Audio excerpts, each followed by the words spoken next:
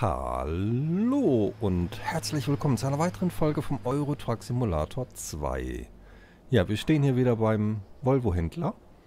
Ich weiß nicht warum, es hat irgendwie nach der Aufnahme nicht gespeichert. Wo ich heute gestartet habe, saß ich wieder im Renault. Ähm, ja, keine Ahnung, was da passiert ist. Deswegen habe ich ja, äh, den nochmal wieder gerade zusammengestellt und wir starten jetzt. Ähm, Ladung hatten wir ja eh keine. Von daher kein so großes Drama. Ähm, ja, es gibt jetzt ein Event, äh, wo wir einfach zweieinhalbtausend Kilometer, glaube ich, fahren müssen. Ähm, können gerade mal gucken. So.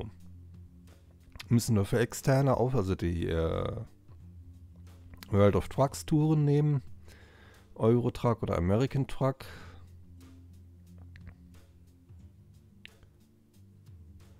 Und ähm, ja, würde ich sagen, starten wir mal durch mit dem American Truck Simulator. Werden wir es, glaube ich, nicht machen können, weil das schon die 1.37 Beta hat. Weiß nicht, ob das damit geht. Ähm, aber ja, fahren wir jetzt einfach halt hier, ne? Gucken mal, wie weit wir kommen. Ähm, Auftragsangebot, externe Aufträge. Und wir sind hier in Turku. Dann gucken wir mal.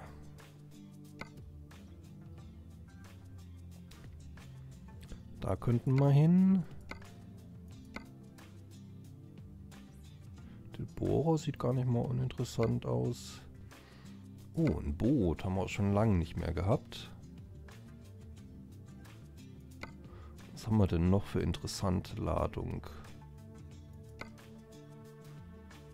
Ja, Nochmal ein Boot. Nach Lettland. Bagger. Oh, ein Traktor.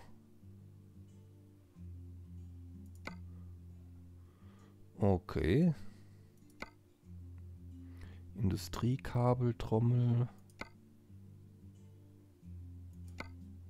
Zu weit kann ich ja auch nicht fahren, weil ich muss das ja heute alles fertig fahren.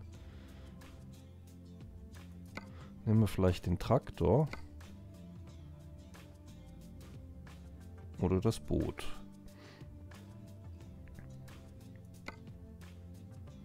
Nehmen wir den Traktor, das ist bei uns in der Nähe.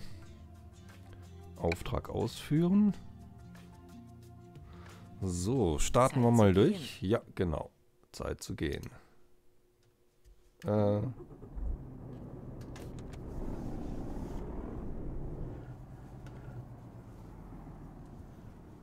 Biege nach rechts ab. Machen wir. Ja, wie gesagt, was da passiert ist, weiß ich nicht.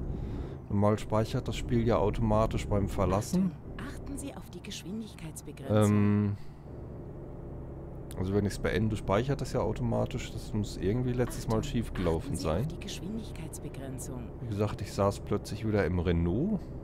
Demnächst rechts abbiegen. Hm. Also die ganze die zweite und dritte Folge, also für die die Mittwoch- und die Freitagsfolge, was ich da aufgenommen habe, das hat es alles nicht gespeichert. Sie auf die Geschwindigkeitsbegrenzung. Und ich weiß nicht warum.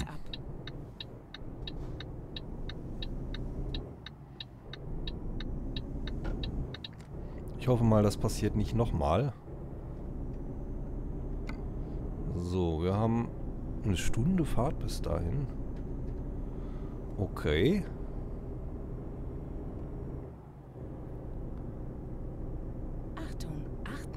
Geschwindigkeitsbegrenzung. Oh, ich bin ja deutlich schneller als 80. Ups. Ja, die jetzige Aktion ist, glaube ich, für äh, um Gelder für, für das Coronavirus oder für die äh, Dings zu sammeln. Wenn ich, ich bin mir gerade nicht ganz sicher.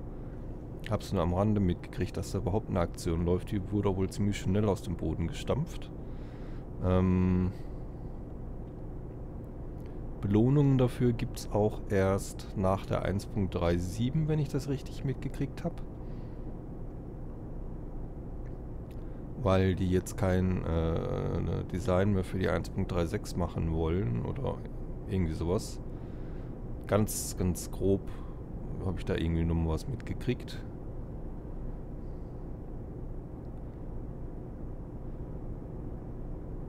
Und äh, ja, wenn es sich jetzt gerade anbietet, fahren wir die Aktion natürlich. Ich weiß nicht, ob wir es schaffen. Die zweieinhalbtausend Kilometer. Achtung, achten Sie auf die Geschwindigkeitsbegrenzung. Müssen wir mal gucken. Wir müssen da gleich links abbiegen. Aber nicht hier.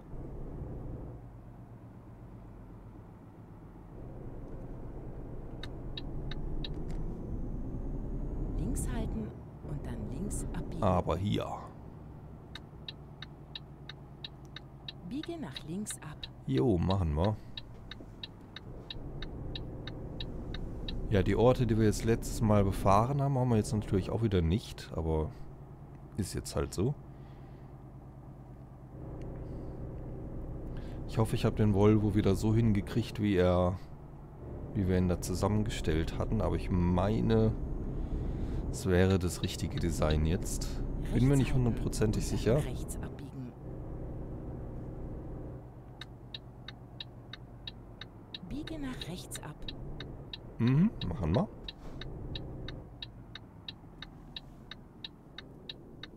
Sobald es grün wird.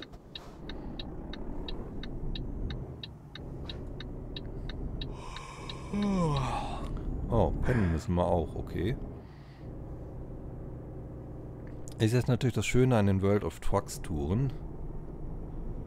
Ich kann einfach pennen und die Tour ist trotzdem noch da. Achtung, achten Sie auf die Geschwindigkeitsbegrenzung. Äh, überleg gerade, da machen wir vielleicht gerade da auf der rechten Seite Rast. Und holen dann äh, unsere Tour.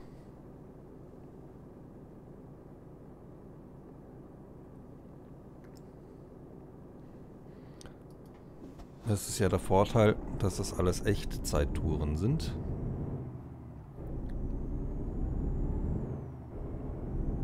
Achtung, achten Sie auf die Geschwindigkeitsbegrenzung. Links halten und dann links abbiegen. Ne, wir machen mal kurz rechts abbiegen. Biege nach links ab. Nein.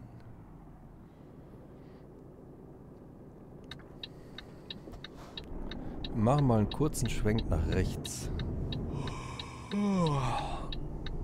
Dass er hier uns nicht so einen vorgehend. Links abbiegen und dann bleiben Sie immer geradeaus. Ja, machen wir gleich, Helga. Jetzt müssen wir gerade erstmal den hier machen. So, und weiter geht's.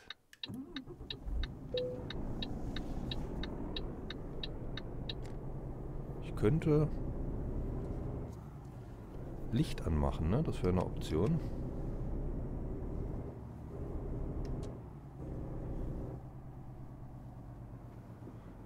Immer geradeaus.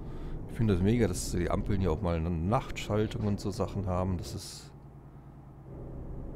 sind so viele, viele Kleinigkeiten, die das Spiel einfach echt, echt interessant machen. Und da steht unsere. Ladung.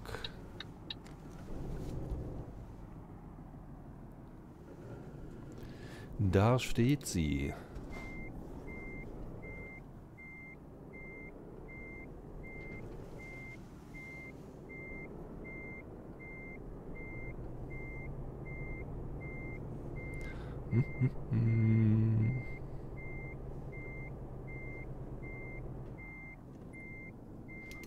Ah.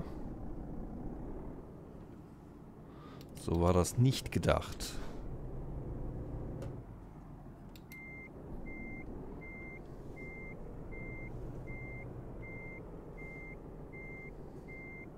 Lass uns loslegen. So ist besser.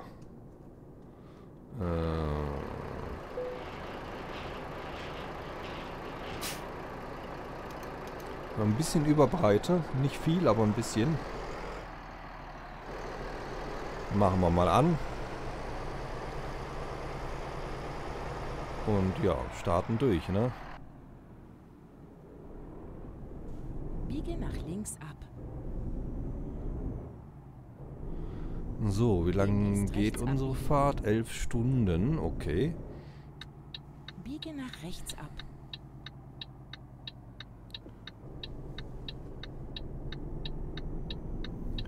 Elf Stunden und 650 Kilometer. Oh, okay, das weiß ich nicht, ob wir das schaffen, das Event. Immer geradeaus. Achtung, achten Sie auf die Geschwindigkeitsbegrenzung. Weil ich kann ja in der im ATS, glaube ich, wenn ich es richtig mitgekriegt habe, nicht fahren, äh, weil wir da die 1.37 Beta haben. halten links abbiegen. Wenn ich es richtig mitgekriegt habe, wir werden es sehen.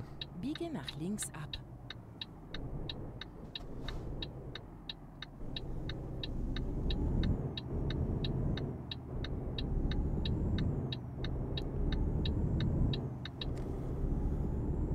Ob das der Fall ist, weiß ich nicht. Wie gesagt, ich werde es später dann sehen.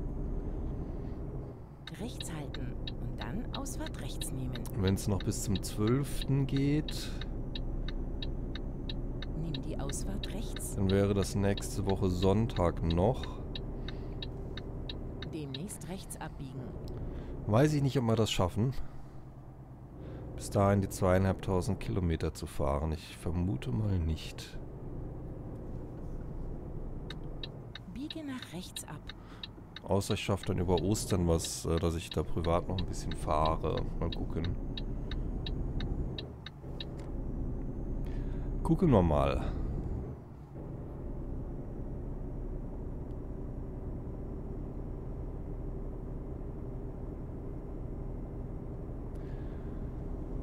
Schauen wir einfach mal. Ja, erstmal müssen wir auf jeden Fall unseren Trecker jetzt wegbringen.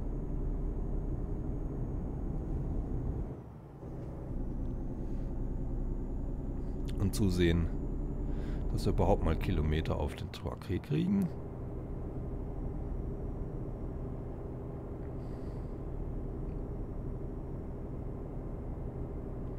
Wäre schon mal von Vorteil, ne?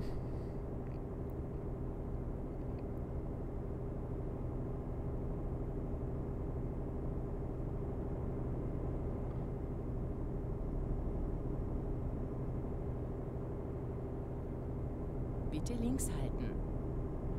Bitte links halten. Ja, machen wir. Ja, ich hoffe, ihr seid alle gesund, fit und munter. Das ist ja jetzt gerade in Corona-Zeiten nicht so selbstverständlich. Aber ich hoffe einfach mal, dass ihr da nicht allzu sehr von betroffen seid oder gar krank geworden seid.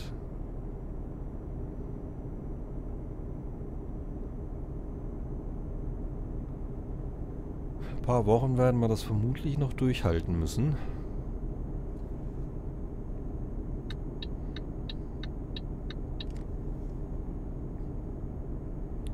Achtung, achten Sie auf die Geschwindigkeitsbegrenzung. Achso, 70. Entschuldigung.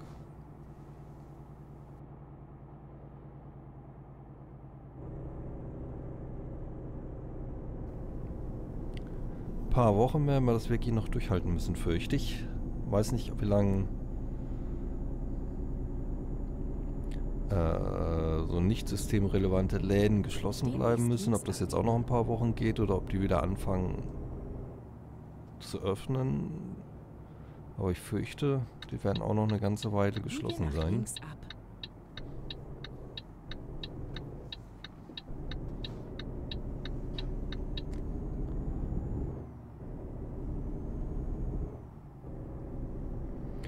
fürchte, die werden wirklich auch noch eine Weile geschlossen bleiben. Weil es gibt ja viele, die auch sagen, das ist jetzt gerade erst der Anfang. Also wir sind noch nicht mal mittendrin, wir sind eigentlich eher noch Richtung Anfang.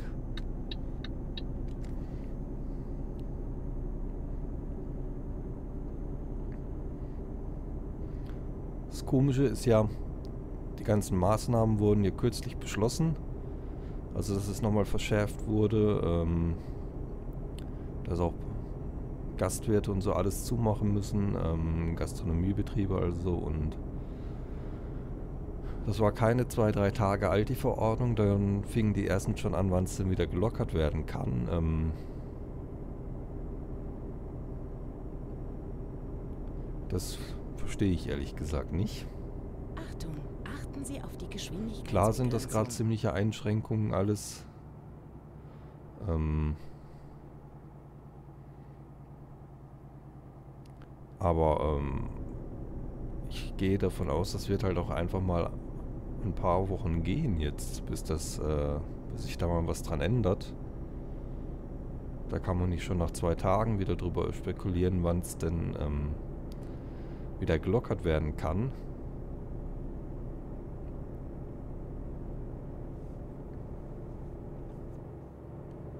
So schnell lässt sich das Virus halt auch nicht aus der Welt schaffen. Und äh, auch halt kein, kein Heilmittel dagegen finden. Es dauert halt alles seine Zeit. Meine, unsere, unsere Krankenhäuser haben jetzt wohl ganz ordentlich Intensivbetten aufgestockt. Und alles an OPs verschoben, was nicht wirklich zwingend nötig ist.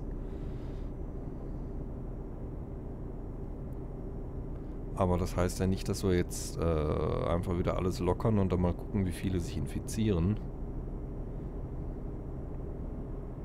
Sondern oberstes Ziel ist ja immer noch so wenig wie möglich.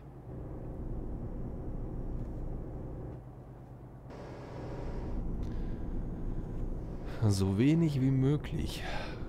Um vor allen Dingen halt auch die Älteren zu schützen.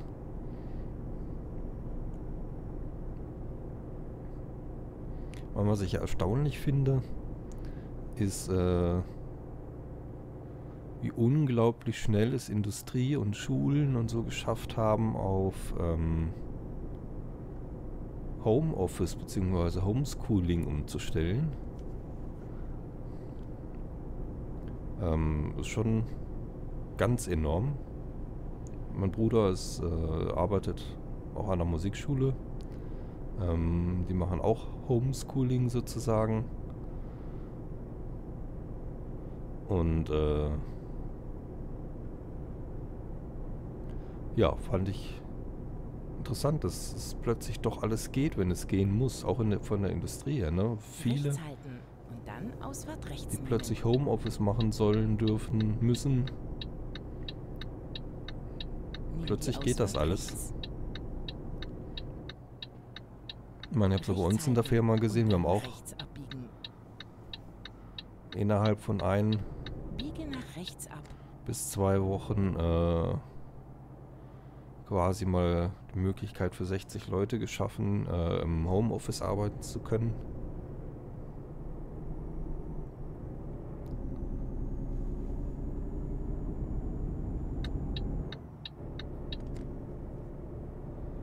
Und äh, ja, das ist schon, schon eine ganz schöne Leistung.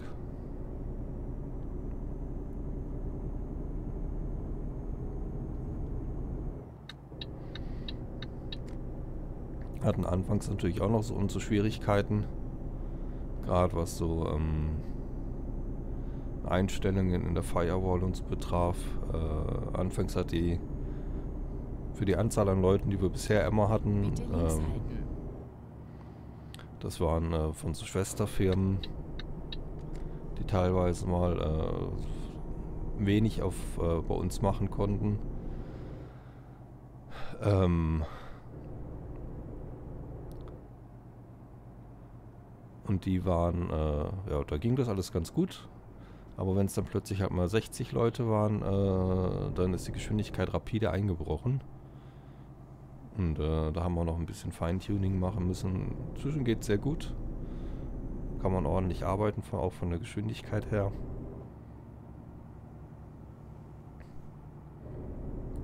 Und ähm,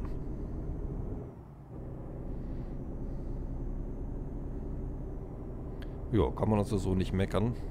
Wäre doch soweit ganz gut und ganz gerne angenommen.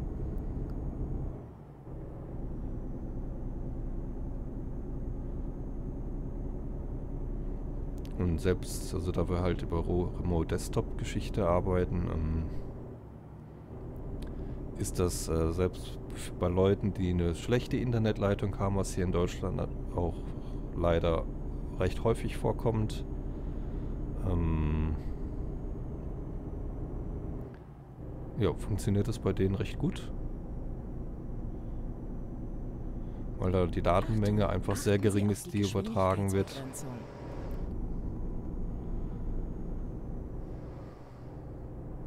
Und ja, ganz angenehm. Bei den Leuten, die selber keine PCs daheim hatten, gab es auch welche. Haben wir soweit es ging Laptops zur Verfügung gestellt. da hatten wir zum Glück. Haben wir da einen ganzen Schwung immer vorrätig. Sind zwar nicht die neuesten, weil die werden nur für für Erfassungsaufgaben, gerade so bei Inventur und so mal immer genutzt. Oder halt so an äh, Azubis, wenn sie Prüfungen haben und also Dinge. Also nicht, dass wirklich Leistung liefert, aber für das, was sie da können müssen, sind sie völlig ausreichend. Und da hatten wir jetzt dann halt auch einfach entsprechende Anzahl zur Verfügung, die wir da einsetzen konnten.